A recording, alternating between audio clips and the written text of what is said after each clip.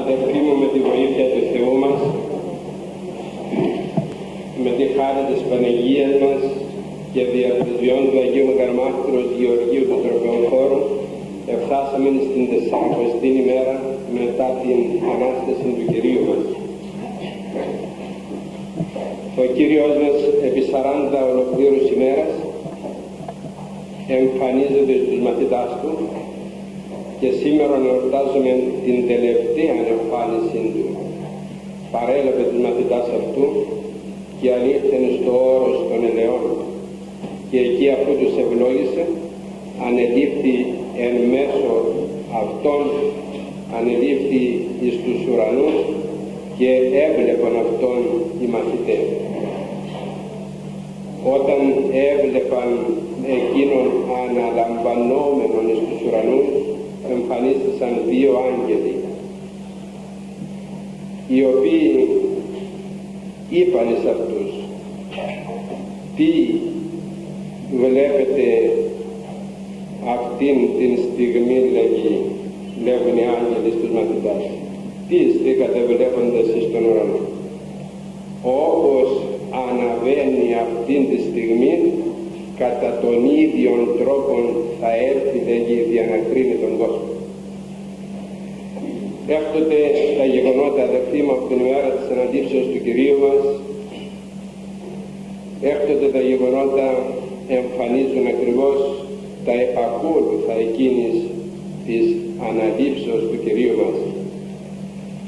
Όλοι οι οπαδοί εκείνου που ανελήφθηνε στους ουρανούς πληρώνουν και θα πληρώνουν έως της συντελείας του αιώνος. Όσοι ακολούθησαν εκείνον τον αναληφθέντες στους ουρανούς, όσοι θα τον ακολουθήσουν θα πληρώσουν με το τίμημα του μαρτυρίου και της αγωνίας στον κόσμο αυτόν.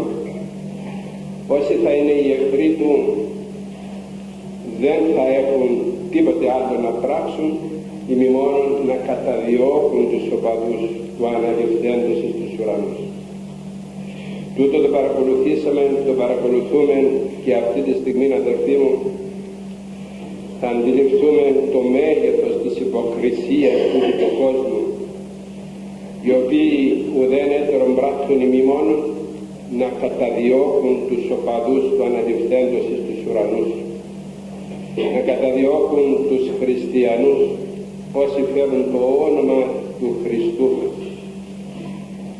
από τη στιγμή κατά την οποία θα ομολογήσεις τον Χριστό θα ακολουθήσεις τον Χριστό θα πεις το θέλημα του Χριστού και τα σεντολάς του θα έχεις εναντίον σου το αντίθετο στρατόπεδο τους εχθρούς του Χριστού εκείνοι οι οποίοι νυχθημερών θα αγωνίζονται πως να εξαλείψουν αυτό το όνειρο από πάνω στην γη. Αυτή τη στιγμή που εμείς ομιλούμε και βρισκόμεθα στην Ελλάδα και είμαι θα ελεύθεροι και απολαμβάνουμε αυτήν την ελευθερία, αυτήν την αγάπη, την μεγάλη, την οποία ο Θεός έχει εις εμάς, υπάρχουν δίπλα μας αδερφοί μας οι οποίοι υποφέρουν και πάσχουν και μαρτυρούν και τα μαρτύρια προέρχονται από τους εχθρούς του Χριστού. Ήρθε ισχύρας με αδερφή μου μία εγκύκλειος των αδερφών μας η οποία εξεδόθη από την ιεραρχία της Σερβίας από τους δεσποτάδες από τους επισκόπους από τη Σύνοδο της Σερβίας αυτοί οι αδερφοί μας οι Σέρβοι ανακοινώνουν στον κόσμο την αλήθεια την οποία αυτήν τη στιγμή καλύπτουν οι υποκριτές της γης. Αυτοί οι οποίοι θέλουν να κυβερνούν τον κόσμο με επικεφαλής αυτό το έθνος της ανομίας το οποίο ονομάζεται Αμερική. Τα σημαίας αυτού του Μαγείου γράφει η εγκύκλειος από τους επισκόπους της Σερβίας που η Ευρώπη και μαζί της όλος ο κόσμος εορτάζουν την πεντηκοστή επέτειο της νίκης κατά του ναζισμού και του φασισμού στο Γιασένοβα και στα περίχωρά του όπου κατά την διάρκεια του Δευτέρου Παγκοσμίου Πολέμου περισσότεροι από 700.000 Ορθόδοξοι Σέρβοι ανάμεσα σε άλλους δολοφονήθηκαν μπροστά στα μάτια όλου του κόσμου στον δεύτερο παγκόσμιο πόλεμο και αυτοί οι οποίοι κατεσφάγησαν ήσαν αδερφοί μας και μαρτύρησαν από το μαρτυρικό εκείνο μαχαίρι των οπαδών του Πάπα. Οι επιζήσαντες Σέρβοι της Δυτικής Λαγωνίας διώκονται και πάλι σήμερα μέχρι να εξαφανιστούν. Σκοπός δηλαδή. Ολοκλήρου αυτού του κόσμου δεν είναι τίποτε άλλο παρά να εξαφανίσουν τους οπαδούς του Χριστού, τους χριστιανούς. Στον βαθμό που εμείς γνωρίζουμε πάνω από 1500 άτομα, πάνω από 1500 άνθρωποι σκοτώθηκαν, ακούσετε αδερφοί, πάνω από 1500 άτομα σκοτώθηκαν την πρώτη και την δευτέρα Μαΐου τούτου του χρόνου. Προχτές ακόμη δεν πέρασε μήνα. Πάνω από 1500 άτομα, οι περισσότεροι των οποίων ήσαν γυναίκες και παιδιά. Και πού σκοτώθηκαν λέγω. Οι επίσκοποι ομιλούν την αλήθεια. Όχι αυτό το οποίο ανακοινώνουν αυτοί οι υποκριτές της γης. Στο Γιασένοβατς, στο Ουκούτσανι, στον δρόμο για την Πόφανσκα, Κράντσικα, καθώς έτρεχαν για να σωθούν στον Μπέλα Στένα. Μόνο σε αυτό το σημείο πυροβολήθηκαν περί τις 500 γυναίκες και παιδιά. Προχθές αδελφοί. Στον ποταμό της Σάβα, ενώ προσπαθούσαν να τον περάσουν κολυμπώντας, έπεσαν μέσα στον ποταμό για να περάσουν απέναντι και τους κατέσπαξαν μέσα στον ποταμό. Δεν γνωρίζομαι επίσης τον ακριβή αριθμό των νεκρών μέσα στα ίδια δάση όπου οι ουστάσοι ναζιστές Κροάτες, ο παδί του Πάπα, σκότωναν τους προγόνους τους στον διάρκεια του Δευτέρου Παγκοσμίου Πολέμου. Ακόμη δεν γνωρίζουν, λέγει, οι επίσκοποι πως είναι σκοτωμένοι μέσα στα δάση εκείνα τα οποία κατεσφάγησαν 700.000 πρόγονοι των σημερινών Σέρβων.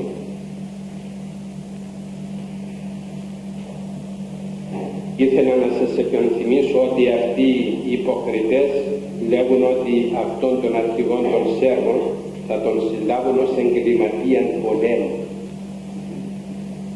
Αν είναι δυνατόν αυτή τη στιγμή αυτός ο άνθρωπος ο οποίος αγωνίζεται να σώσει αυτό το έθνος, αυτή την φυλή, αυτό τον χριστιανισμό ο οποίος κατασφάζεται κάθε ημέρα αυτός λέγει είναι εγκληματίας πολέμου. Τον κατασφάζουν και ακόμη λέγουν ότι πρέπει να καταδικαστεί ως εγκληματίας πολέμου.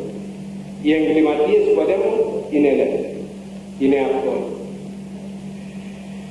Νέες ουρές απελπισμένων προσφύγων έχουν κατακλείσει την Πόσανσκα, Κράνσκα, Νόβα Τόπολα, Αλεξάνδροβατς, Λαχτάτσι, Λίγεβατς, όλοι και κινούνται στους δρόμους προς την Πάνια Λούκα ή ακόμη και προς τη Σερβία.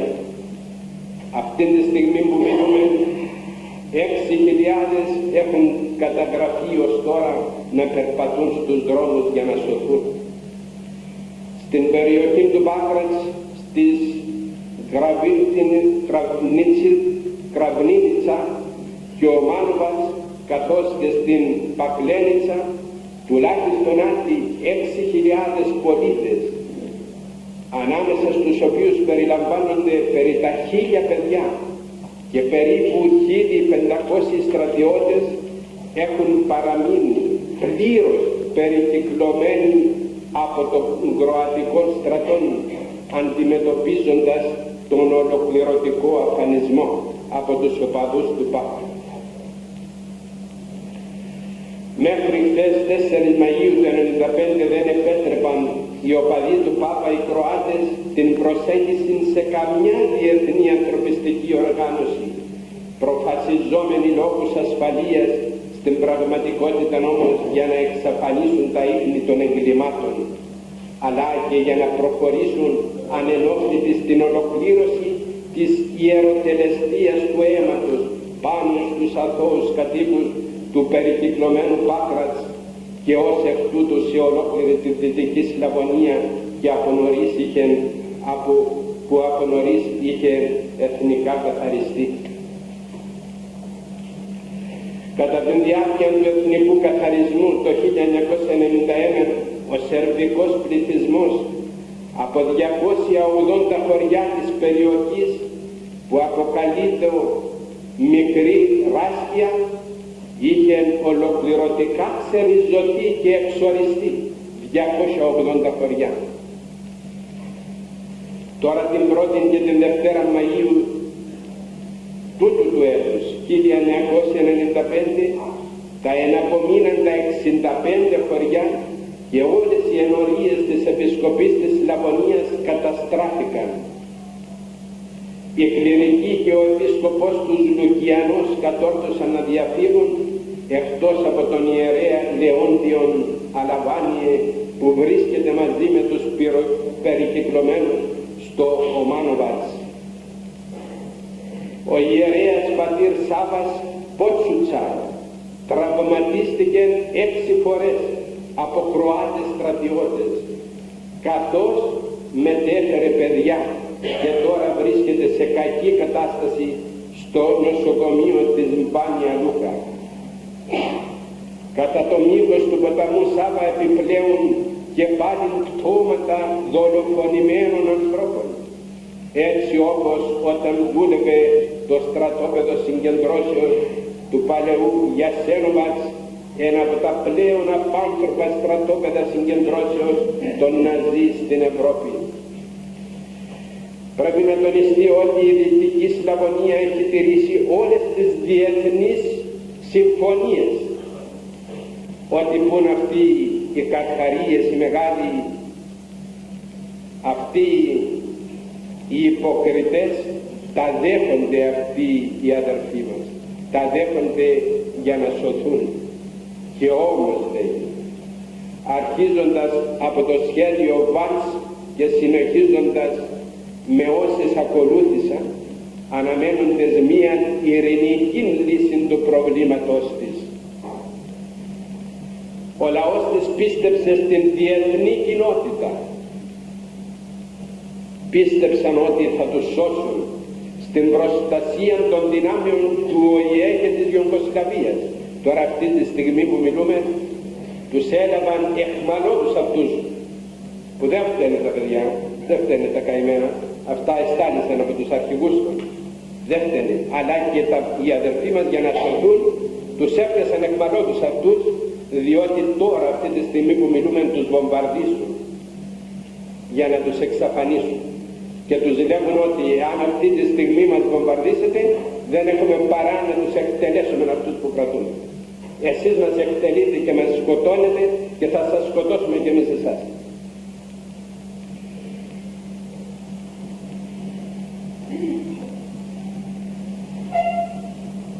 Αυτοί οι ΟΗΕ λέγουν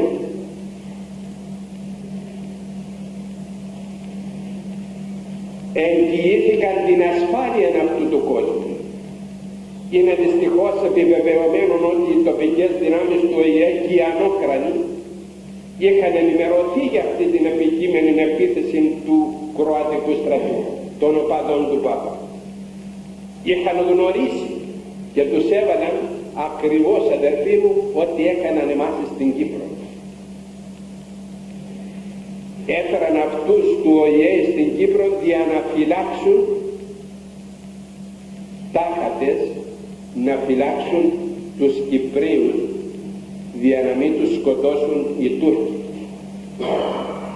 Και τι έκαναν, έβαζαν τους Τούρκους και τους εσκότωναν και εκουβαλούσαν όπλα εις τους Τούρκους για να κατασπάσουν τους Έλληνας της Κύπρου. Η δε σφαγή η οποία επικολούθησε στην Κύπρο είναι ομοία με αυτήν τη σφαγή η οποία γίνεται τώρα από τους κιανοκράνους. Βάζω δηλαδή με μια λέξη κατά την απλή γλώσσα την αλουπούν να βλέπετε σκότες. Βάζουν αυτούς τους κακούργους για να μας φυλάξουν τάχατες και μας κατασφάλουν. Τώρα που τους έπιασαν εκπαλώτους όμως οι αδερφοί μας φωνάζουν μη σκοτώσετε λέγει αυτούς όταν σκοτώνουν εκείνοι τους αθώους και τα γυναικόπαιδα έχουν το δίκαιο. Και όταν θα έρθει η στιγμή των οι άλλοι έχουν το άδικο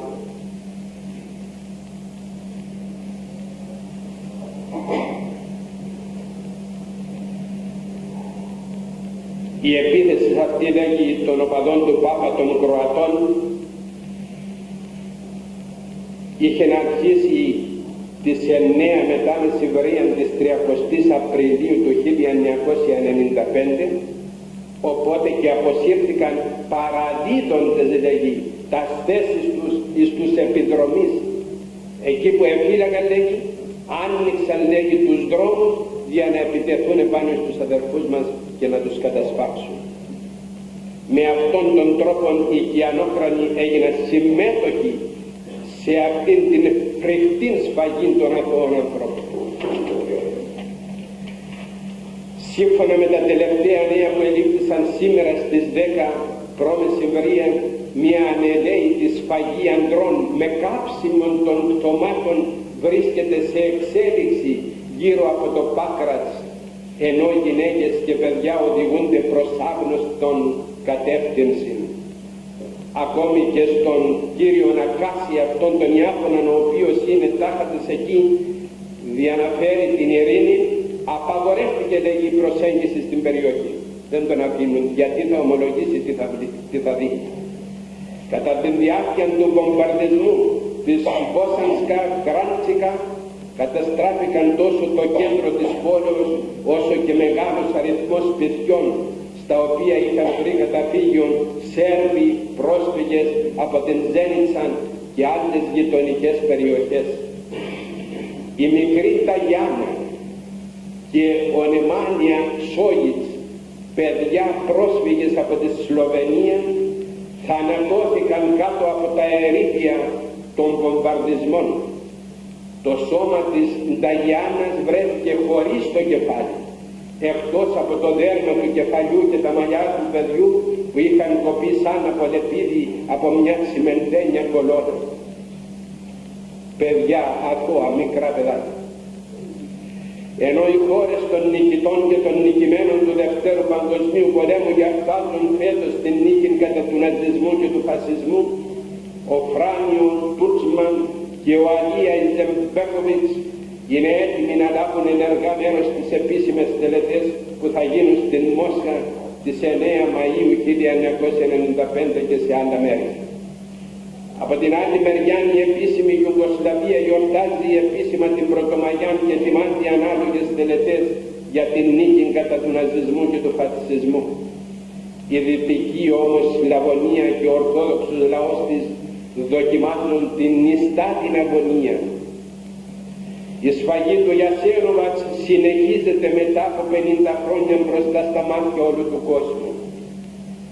Είναι φανερό ότι αυτό που συμβαίνει τώρα στην Δυτική Σλαβωνία είναι μόνο η πρώτη πράξη του τι προετοιμάζεται για τους λαούς της Σερβικής Δημοκρατίας της Κράινα και ακόμη και της ιδίας της Σερβικής Δημοκρατίας παρουσία και με συνεργία των δυνάμεων της Δύσεως του ΟΗΕ και του ΝΑΤΟ της Δημοκρατικής Ευρώπης και της Αμερικής και των λοιπόν ανθρωπιστικών παραγόντων της διεθνούς κοινότητας από το γραφείο της Ιεράς Συνόδου των Επισκόπων της Σερβίας.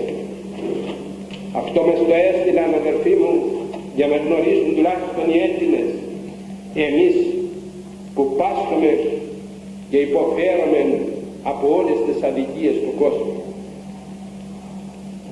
Ήθελα να σας αναφέρω, βέβαια τούτο θα είναι στην κρίση τη δικιά σας, ό,τι θέλετε και ό,τι αποφασίσετε.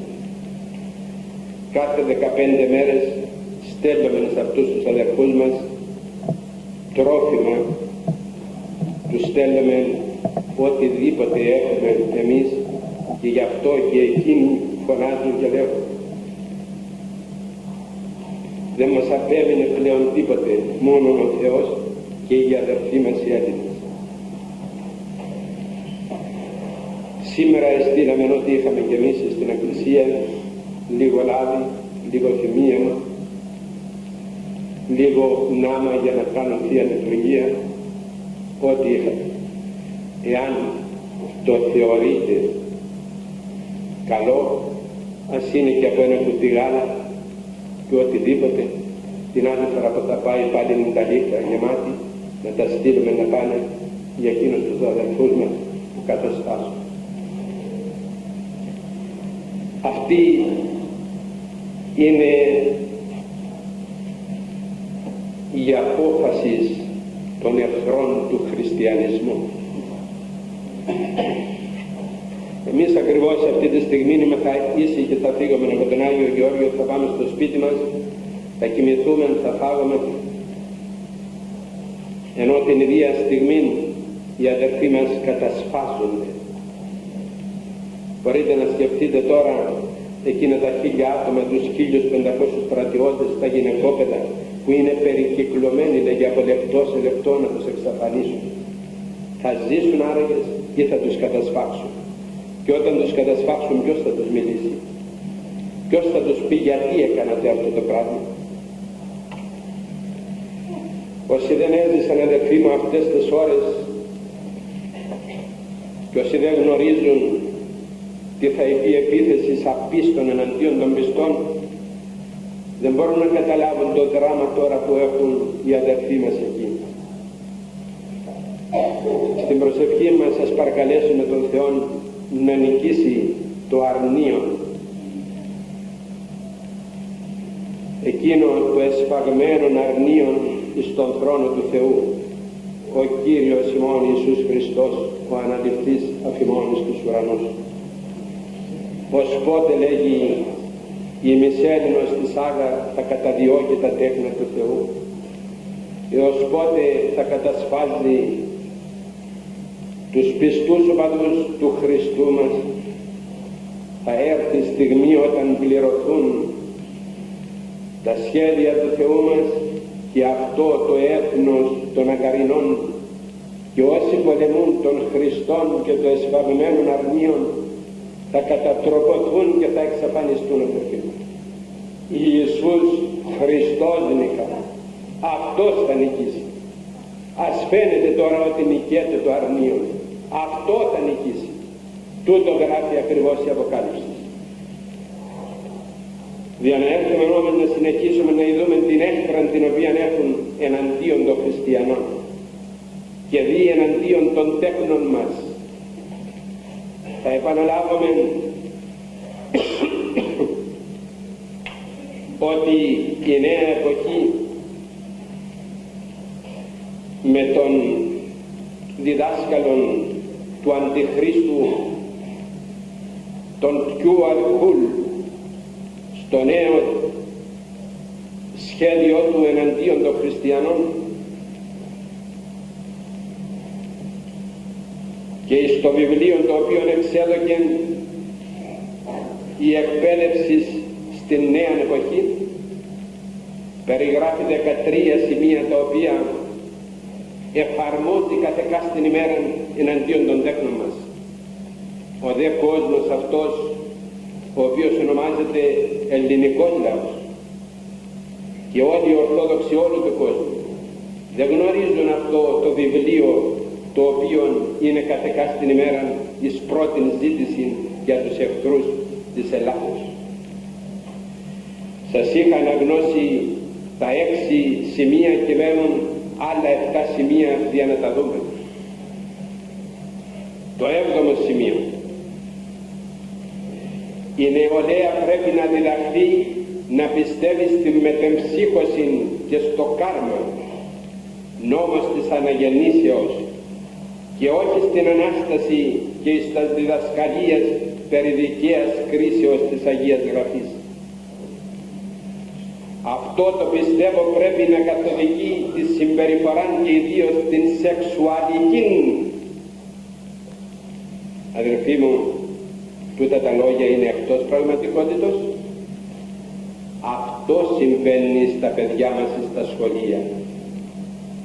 Αυτό διδάσκονται λέγει από τους διδασκάλους. Είναι σχέδιο της νέας εποχής.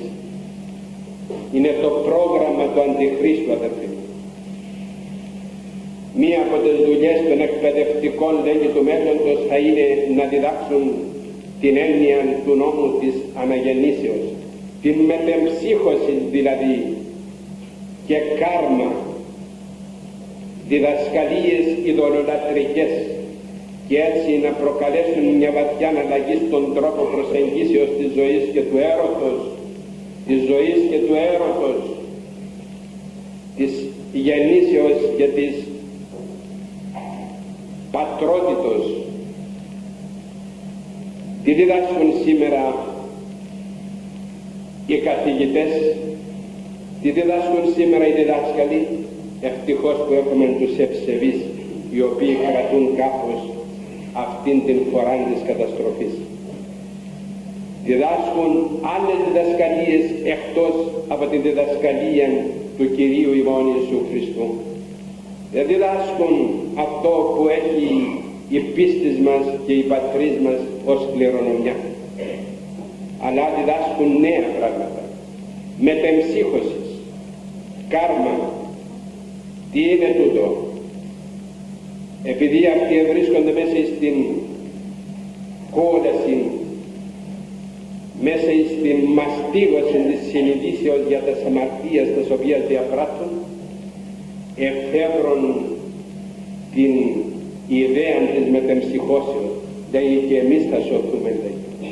Αλλά θα μεταφερόμεθα λέγει μόλις πεθάνουμε από άνθρωπος σε άνθρωπο και από ζώο σε ζώο μέχρι λέγει και μέσα σε μία ψήρα ως εκεί λέγει θα φτάσουμε για να σωθούμε και να καθαριστούμε από τις αμαρτίες ναι αδερφοί μου αυτό το ονομάζουν σαμψάρα και μεταφέρονται από ζώο σε ζώο και από αντικείμενο σε αντικείμενο έως ότου λέγει να σωθούν. Αυτά διδάσκονται τα παιδιά μας. Τον δρόμο της μετεμψυχώσεως θα είναι ένα από τα βασικά κλειδιά της νέας παγκοσμίου θρησκείας. Θα είναι αυτό λέγει ένα κλειδί σοβαρό λέγει για τον νέο κόσμο τον οποίο εμείς θα εκπαιδεύσουμε. Όγδο σημείο. Ακούστε αυτό για να δείτε τι φοβερό πράγμα είναι και πώς διδάσκουν τα παιδιά μας σήμερα και τα βλέπουμε και δεν έχουν κανένα σεβασμό προς τους μεγαλύτερους των. Οι παρανοϊκές λέγουν και ανώριμες ιδέες, ακούσετε, περί αμαρτίας και ενοχής δεν θα πρέπει να εμφυτεύονται στους νέους και από τους γονείς λέει από τους διδασκάλους, από τους ιερείς ή από άλλους ενήλικας ανθρώπους.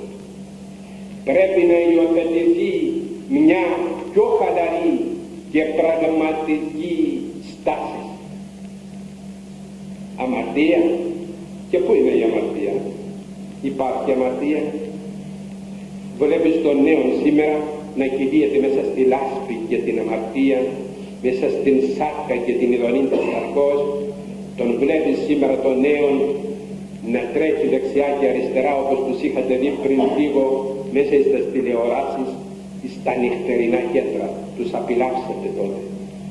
Είδατε τις κόρες σας τις κόρες της Ελλάδος με τι ενδυμασίες και με τι χορούς και με τι διαγωγή μέσα σε εκείνα τα νυχτερινά κέντρα. Πού η αμαρτία; Φυσιολογικό πράγμα. Γιατί είναι αμαρτία; Αυτό είναι η φύση. Αυτό διδάσκει ο κουλ ο διδάσκαλος του Αντιχρίστου μέσα στο βιβλίο του εκπαίδευσης της νέας εποχής ναι αδερφοί μου είναι η γενεά των ενηλίκων που μεταδίδεις στα παιδιά από νωρίς την ανώφελη αυτήν έννοια της ενοχής της αμαρτίας και της κακής πράξεως.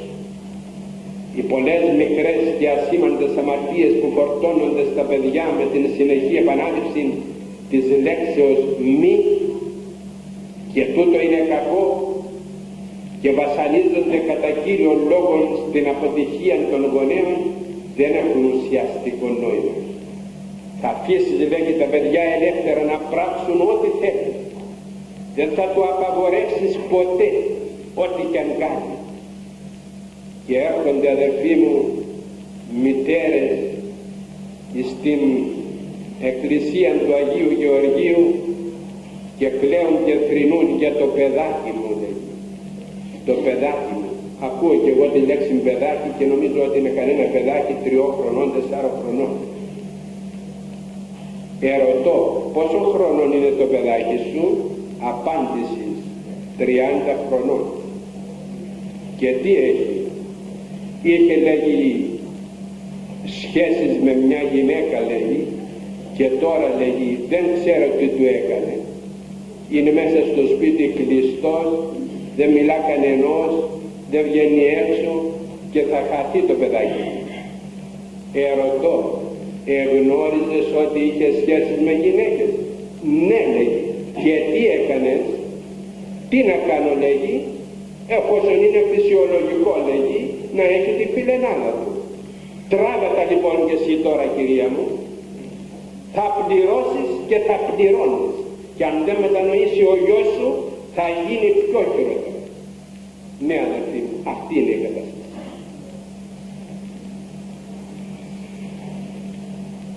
Ένα το σημείο. Τα παιδιά πρέπει να διδαχτούν ότι όλες οι θρησκείες, ο χριστιανισμός, η μαγεία, ο Ινδουισμός, ο Βουδισμός, ο Ισλαμισμός, ο Ιουδαϊσμός, η, η ειδωλολατρία και ό,τι υπάρχει εναντίον της πίστεως του Χριστού έχουν την ίδια αξία και δεν έχει σημασία σε ποιον ποιον πιστεύει κανείς. Ναι αδερφοί μου, δεν έχει καμιά σημασία λέγει αν πιστεύεις στον Κούδα ή αν πιστεύεις στους ποταμούς ή αν πιστεύεις στους ελέφαντας ή αν πιστεύεις στα φίδια ή αν πιστεύεις στη σελήνη ή αν πιστεύεις στα άστρα. Όλα λέγει είναι το ίδιο. Αυτή είναι η νοοτροπία της νέας εποχής. Πρέπει να γίνουμε κι εμείς λέγει δολολάτρες για να μην ξεχωρίζει λέγει ο χριστιανισμός σαν η κυρία θρησκεία στον κόσμο. Τι θέλουν άραγες να μας πούν οι κύριοι αυτοί, να εγκαταλείψουμε τον Χριστό μας για να ακολουθήσουμε αυτά στα ιδέας των ανώμων και των απίστων. Ζει Κύριος ο Θεός μου. Θα μείνουμε πιστοί άχρη θανάτου και αν έρθει η στιγμή κατά την οποία θα φωνάξουν να ενώσουν την Ορθοδοξία με τον Παπισμό θα κρατήσουμε εμείς στερεοί και θα χωρίσουμε όπως χωρίζει το σιτάρι από την ύρα. Θα τραβήξουν τον δρόμο τους εκείνοι και εμείς το δικό μας. Πιστεύουμε στον Χριστό μας και θα πιστεύουμε έως τις τελευταίες μας αναπνοής. Αυτή είναι η απόφασή μας. Αυτό είναι το είναι μας. Αυτό είναι το πιστεύουμε ακούμε σε εκείνον ο οποίος λέγει μην επιστός παιδί μου άκρη θανάτου και δώσουσι τον στέφανο της ζωής τα παιδιά όλων των εθνικότητων θα διδαχτούν την αλήθεια χωρίς προκατάληψη και ποια είναι η αλήθεια κατά τους εχθρούς του Χριστού μας κατά τους οπαδούς της νέας εποχής η παγκόσμια ενότητα θα είναι πλέον γεγονός όταν τα παιδιά λέγει θα διδάσκονται ότι οι θρησκευτικές διαφορές είναι κατά βάση θέμα τόπου και γεννήσεως. Βαθμιαία δε οι φιλονικίες και οι διαφορές θα απομακρυνθούν και η ιδέα της ενιαίας ανθρωπότητος θα πάρει την θέση της για να κυβερνήσει ο Αντίχριστος. Όλος ο κόσμος θα είναι ένα και τότε θα εμφανιστεί εκείνος ο άνομος. Πότε θα εμφανιστεί, μας το είπε ο Χριστός μας. Όταν όλος τούτος ο κόσμος και προπάντων όταν ακουστεί από τους Εβραίους ότι ήρθε ο Χριστός τότε ήρθε ο Αντίχριστος μόλις ακούσουμε αυτή τη λέξη ότι ήρθε ο Χριστός τότε λέγει ήρθε ο Αντίχριστος. Το είπε ο ίδιος ο Θεός όταν ακούσετε λέγει όδε εστίν ο Χριστός και όδε εστίν ο Χριστός μη πλανηθείτε λέγει μη πορευτείτε ο πίσω αυτόν μόνο όταν ακούσουμε την φράση αυτή ότι ήρθε ο Χριστός τότε ήρθε ο Αντίχριστος. Ακόμη αδερφοί μου αλλά τούτο θα ονομάζεται και ο βασιλεύς των Εβραίων οι Εβραίοι επειδή περιμένουν τον βασιλέα των αυτόν θα ανακηρύξουν βασιλέα και αυτόν θα έχουν ως τον δικτάτορα ολοκλήρου της ανθρωπότητας. Ο Χριστός της νέας εποχής δεν γνωρίζει θρησκευτικά όρια στην συνείδησή του λέει. Δεν τον ενδιαφέρει σε ποια θρησκεία πιστεύει ο καθένας άνθρωπος. Και τότε γιατί έστειλε τους Αποστόλους, γιατί τους έστειλε να διδάξουν στον κόσμο το Ευαγγελιόν του, γιατί δεν τον ενδιέφερε. Ο μέγεθος ανοησίας αδερφοί, ο μέγεθος ηλικιότητος, όπου κρατεί τους οπαδούς της νέας εποχής. Δεν ενδιαφέρει το Χριστό μας σε ποια θρησκεία είσαι και ποιο Θεό λατρεύεις. Και τότε γιατί ήρθαν και δίδαξαν ότι υπάρχει Θεός αληθινός και όχι τα είδωλα. Τότε γιατί ήρθε και ταπεινώθη για να σώσει τον άνθρωπο από το σκοτάδι.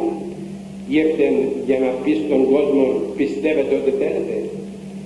Δεν είναι εκείνος ο οποίος έστειλε τους μαθητάς του και τους είπε «Πορευθέντες κηρύξατε τούτο το Ευαγγέλιο πάση τη χτίση και ο πιστεύσας και βαπτιστής σωθήσετε, ο διαπιστής σας κατακριτήσετε». Δεν είναι αυτός ο Χριστός μας ο οποίος σε λίγες μέρες από σήμερα από την ανάληψή του θα στείλει το Άγιο του Πνεύμα για να φωτίσει τους μαθητάς να γράψουν την αλήθεια του μέσα στο Ευαγγέλιο δεν είναι ο Χριστός, δεν τον ενδιαφέρει, λέγει τον Χριστό, γιατί πιστεύει ο καθένας.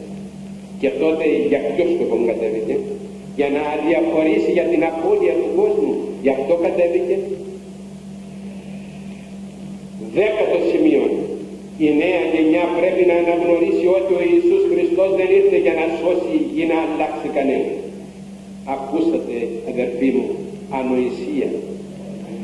Γιατί κανείς δεν είναι χαμένος δεν είναι χαμένος κανένας. Και για ποιο σκοπό κατέβηκε ο Χριστός; Για να σώσει τους σωζωμένους. Κατέβηκε λέγει για να σώσει τους υγιείς. Ουκέται ο Υιός του ανθρώπου λέγει για να κοιτάξει τους υγιείς; Ήρθε για να κοιτάξει τους ασθενείς λέγει. Να τους ιατρέψει. Ήρθε να, να σηκώσει λέγει εκείνους που είναι συντριμμένοι κάπου από την αμαρτία. Και όμως οι κύριοι αυτοί λέγουν ότι κανείς δεν είναι χαμένος. Δηλαδή κάνει ό,τι θέλεις, πράξει ό,τι θέλεις, ό,τι σου ήρθε στο κεφάλι κάνει δεν θα χαθείς, θα σωθείς οπωσδήποτε. Αυτή είναι η ιδέα της νέας εποχής. Δεν ήρθε να αλλάξει τον ειδωλολατρικό κόσμο γιατί στα μάτια του Χριστού και των πραγματικών μαθητών του λέγει δεν υπάρχει ένας τέτοιος κόσμος ώστε όλος ο κόσμος όπου και αν πιστεύουν και οι καννίβαλοι οι οποίοι κατατρώγουν τους ανθρώπους και εκείνοι λέγει είναι σωσμένοι λέγει και πιστεύουν ορθά και τότε τότε τι γίνεται; Οι χριστιανικές ιδέες στο εντέκατο σημείο του βιβλίου του Κούλ όπως ο παράδεισος η κόλασης οι κρίσεις πρέπει λέγει να εξαφανιστούν, να μην υπάρχουν. Και η θεολογία της Παλαιάς Διαθήκης πρέπει να απορριφθεί οπωσδήποτε. Αυτά διδάσκουν. Ναι αδερφοί μου, αυτά έχουν υπόψη τους οι κύριοι αυτοί.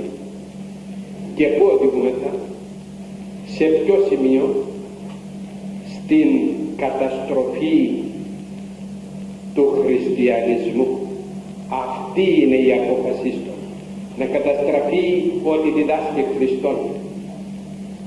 Ο χριστιανισμός έχει εξαρτήσει την αιώνια ευτυχία από την αποδοχή ενός θεολογικού δόγματος δηλαδή το θεολογικό δόγμα που λέγουν οι κύριοι αυτοί είναι αυτές οι σαπουνόφουσκες που διδάσκουν οι θεολόγοι και οι ιερείς της τας εκκλησίας. Αυτά λέγει δεν είναι τίποτε είναι παραμύθια. Αυτά λέγει δεν μας χρειάζονται. Εδώ χρειάζεται μια αλλαγή του κόσμου. Ή θα ζεις ως πραγματικός χριστιανός και θα απολαύσεις έναν μάλλον κουραστικών παράδεισων ή θα αρνηθείς τον χριστιανισμό και θα ζήσεις σε μια αφόρητη κόλαση μια κόλαση που αναπτύσσεται από τη θεολογία της Παλαιάς Διαθήκης και την παρουσίαση ενός Θεού γεμάτου από μίσος και ζήτια. Εξέχασαν οι Κύριοι αυτοί ότι ο Θεός, ο πολυέλεος, ο πολυέσπλαχνος, εξέχασαν οι Κύριοι αυτοί ότι ο Θεός είναι Θεός και δικαιοσύνη. Νομίζουν ότι θα κάνουν τα πάντα και δεν θα τους μιλήσει κανείς. Έτσι εζούσαν και εκείνοι οι κάτοικοι των Σοδόμων και των Γομόρων. Εζούσαν και έλεγαν ότι εμείς θα κάνουμε το παν και δεν υπάρχει Θεός να μας εκδικηθεί. Και όμως ήρθε η στιγμή κατά την οποία ο Θεός αυτός ο οποίος είναι πολυέλαιος και πολυέσπλαχνος έδωκε και την κρίση του, έδωκε και την παρουσία του και κατέκαψε εκείνας στα πέντε πόλεις της αμαρτίας. Έτσι έλεγαν και οι οπαδοί της εποχής του Νόε. Δεν υπάρχει λέγει Θεός. Πού είναι ο Θεός; Και έγιναν όλοι σάρκα. Ξαφνικά όμως άνοιξε αυτός ο Θεός που δεν υπήρχε τους καταράχτας του ουρανού και της γης και κατέπνιξε όλη την γη μέσα στο νερό. Και πόσοι έζησαν, μόνο οκτώ άτομα. Ναι αδερφοί μου, θέλουν τον Θεό να είναι πάντοτε υπομονετικός. Θέλουν τον Θεό να είναι πάντοτε δίκαιος. Δίκαιος κατά την δική των νοοτροπία. Όχι δίκαιος κατά την δικαιοσύνη του Θεού. Τον θέλουν λέγει να κάνουμε ό,τι μπορούν σε αυτόν τον κόσμο και εκείνος να μην μιλά. Ναι αδερφοί μου, αυτή είναι η νοοτροπία και των νέων σήμερα. Και όταν τους περιορίσεις λίγο και τους πεις παιδί μου τούτο δεν επιτρέπεται να το κάνεις αμέσως σηκώνουν το κεφάλι ψηλά και φωνάζουν. Αυστηρός ο Θεός. Αυστηρή η Εκκλησία. Αυστηρός ο Πνευματικός. Θέλουν ελευθερία γιατί αυτή είναι η νοοτροπία της νέας εποχής. Οι δύο ιδέες σήμερα απορρίπτονται από κάθε λογικών ειλικρινή και σκεπτόμενων άνθρωπων. Δηλαδή οι δύο αυτές γραφές στα οποίες στηρίζεται ο χριστιανισμός η Παλαιά και η Καινή Διαθήκη αυτά λέγει απορρίπτονται κανένας πραγματικά λογικός άνθρωπος που πιστεύει σε κάποιον Θεό που είναι γεμάτος με αγάπη δεν δέχεται τον παράδεισο των παπάδων και ούτε έχει επιθυμία να πάει σε αυτόν τον παράδεισο λέει. Οι Κύριοι αποφασίζουν κατά τα δικά των μέτρα. Οι Κύριοι αυτοί δικάζουν κατά την ειδική των νοοτροπία. Ακόμα περισσότερο δεν δέχεται λέγει ο παρόν κόσμος. Οι νέοι της νέας εποχής δεν δέχονται τη λίμνη που είναι γεμάτη με φωτιά και διάφορα. Τα θέλουν όλα πρόδεινα. Όταν ο Θεός στέλνει λέγει τους αμαρτωλούς εις το πύρτο αιώνιον το ετοιμασμένο το διαβόλο και τους αγγέλες αυτούς οι Κύριοι λέγουν ότι αυτά είναι ένα ψέμα. Είναι η θρησκεία των παπάδων λέγει για να κρατούν τον κόσμο σε μια αγωνία. Και αν δεν υπήρχε αυτός ο τόπος της σχολάσεως αδερφοί μου έπρεπε να υπάρχει για αυτούς για αυτούς τους κυρίους οι οποίοι δεν πιστεύουν σε τίποτε αν δεν υπήρχε κόλαση έπρεπε να υπάρξει κόλαση για αυτούς μόνο διότι νομίζουν ότι τα πάντα στον κόσμο τούτον δεν διοικούνται από κανένα. Είναι ελεύθερα να κάνει ό,τι θέλει ο καθένας.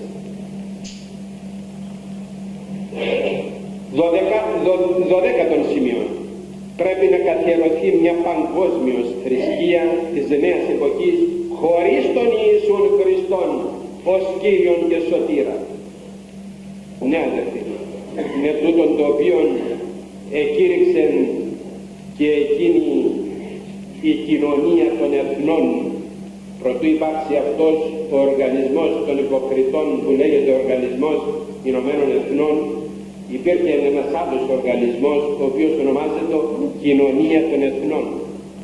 Αυτοί οι κύριοι ξέρετε τι έκαναν; Συνήλθαν και όταν εισήλθαν μέσα σε εκείνο το κοινοβούλιο απεφάσισαν και είπαν όλα τα θέλουμε μόνο των Χριστών δεν τα θέλουμε. Όλα τα θέλουμε μόνο το όνομα του Χριστού δεν θέλουμε. Και διελύθηκε εξυφανίστη αυτή η κοινωνία των εθνών εις τα εξών συνετέθη. Και έλαβε την θέση αυτής της κοινωνίας των εθνών αυτός ο λεγόμενος οργανισμός Ηνωμένων Εθνών. Και αυτός βαδίζει προς την ίδια καταστροφή αδερφοί προς το ίδιο τέλος οδηγείται και αυτός διότι αυτοί είναι υποκριτές. Τους μεν δικαίους αδικούν τους δε αδίκους στεφανών ναι τούτο το είδαμε προηγουμένως όταν ανεγνώσαμε αυτό το μαρτύριο των αδερφών μας στην Σερβία. Η χριστιανική εκκλησία είναι νεκρή λέει τους ανοήτους. Εκείνος που την ίδρυσε είπε ότι πηλεάδου κατησχήσου συνεχτής και αυτοί λέγουν ότι είναι νεκρή λέει η εκκλησία και πρέπει λέει να αντικατασταθεί να την αντικαταστήσουν οι κύριοι αυτοί η εκκλησία σήμερα είναι ο τάφος του Χριστού λέει η ανθρωπότης έχει τεράστια τεραστία ανάγκη και η ανάγκη αυτή πρέπει να ικανοποιηθεί. Οι θεολογικές ιδέες που διδάσκονται είναι απαρχαιωμένες και έχουν μικρή σχετικά χρησιμότητα. Τίποτε λέγει ελάχιστο. Όπως είναι η οδοντογλυφίδα. Οι ιερείς και οι άνθρωποι της Εκκλησίας, οι διδάσκαλοι της Ορθοδοξίας και του φονταμενταλισμού που αν και είναι τίμοι είναι ωστόσο φανατισμένοι μας ονομάζουν φανατισμένους.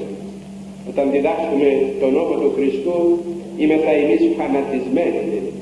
Όταν διδάσκουμε την αλήθεια θα φανατισμένοι όταν διδάσκουμε τα παιδιά μας να οδηγηθούν στον δρόμο του Θεού θα φανατισμένοι όταν διδάσκουμε τιμήν θα φανατισμένοι όταν διδάσκουμε να αγαπά ο άντρας την γυναίκα και η γυναίκα τον άντρα είμαι θα οπισθοχωρημένοι. Όταν διδάσκουμε να ανατρέφονται τα παιδιά εν παιδεία και νοθεσία Κυρίου είμαι θα φανατισμένοι. Ναι αδερφοί μου, ξεπερασμένα λέγει αυτά. Τι κάνουν λέγει, αυτά είναι κάτι τα οποία προσπαθούν να διαιωνίσουν λέγει θέματα που είναι πλέον ξεπερασμένα και που ικανοποιούσαν τα ανάγκες του παρελθόντος μόνο και που όμως τώρα δεν μπορούν να κάνουν το ίδιο. Άλλαξε η εποχή, δεν το ακούμε αυτό συχνά να αναφέρεται από τα, νέα, από τα παιδιά της γονείς. Που κοιμάσαι λέγει, εσύ είσαι παλαιοντολογικών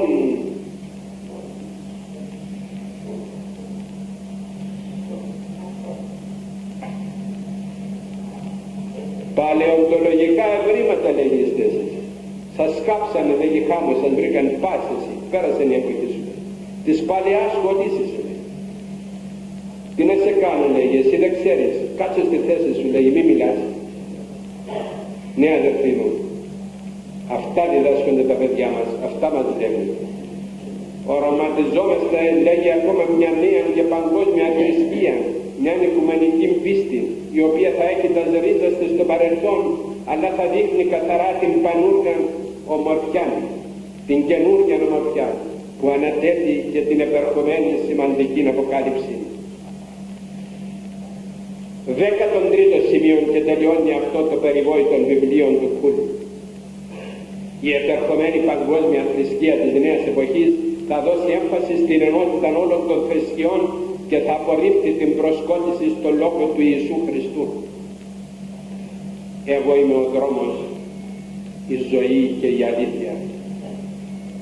Τούτο λέγει πρέπει να εξαφανιστεί.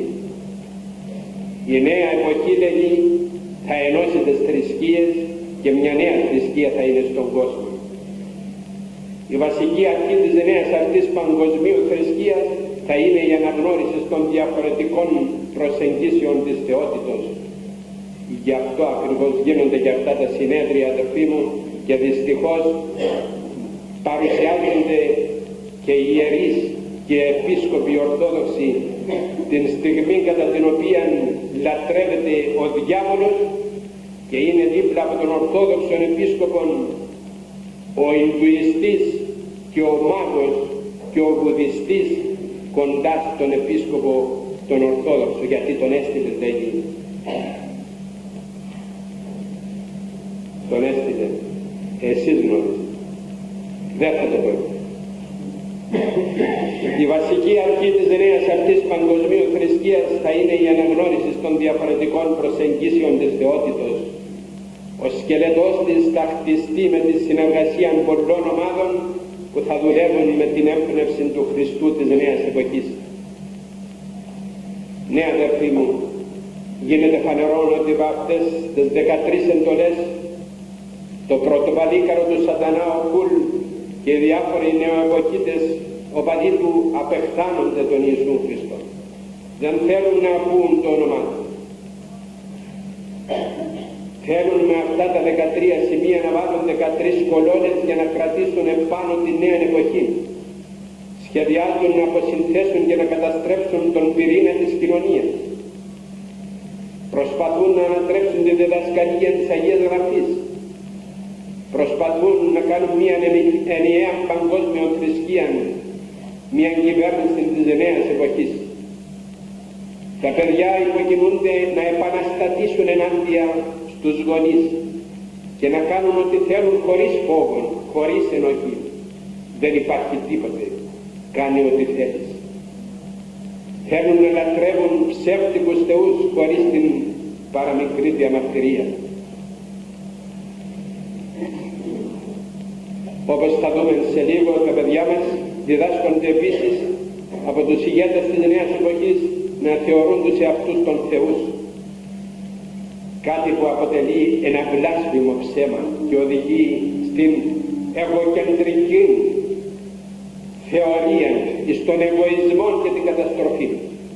Αδερφοί μου η Θεοπανάγατος Θεός να ελεήσει τον κόσμο του.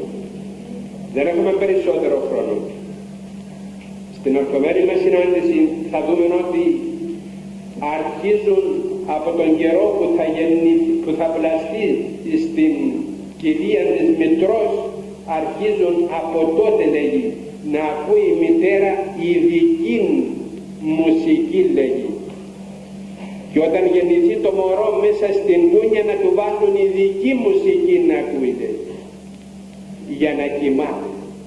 Δηλαδή θέλουν αδερφοί μου από τον καιρό που θα πλαστεί το μωρό μέσα στα σπλάχνα της μητέρας να το παραδώσουν στον διάβολο. Και γι' αυτό θα γεννούνται σε λίγο παιδιά τα οποία θα είναι δαιμονισμένα. Και πού θα φτάσει η ανθρωπότητα. Εάν έρθει γρήγορα ο Χριστός να κρίνει τον κόσμο θα είναι θα πολύ ευτυχισμένος. Αν όμως αργήσει ο Χριστός μας αλίμονο όλος αυτός ο κόσμος θα αρνηθεί την αλήθεια και θα ακολουθήσει το ψέμα. Εμείς όμως που ακούμε τον Λόγο του Θεού ήρθε να μας αξιώσει ο Πανάγατος Θεός να μείνουμε κοντά του πιστοί για να κληρονομήσουμε την εκουράνιο του Βασιλεία. Αμήν.